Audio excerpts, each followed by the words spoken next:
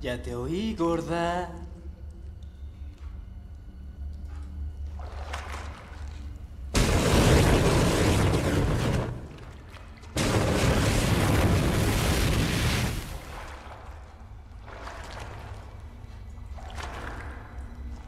No te puedes quedar aquí todo el maldito día, ¿o sí?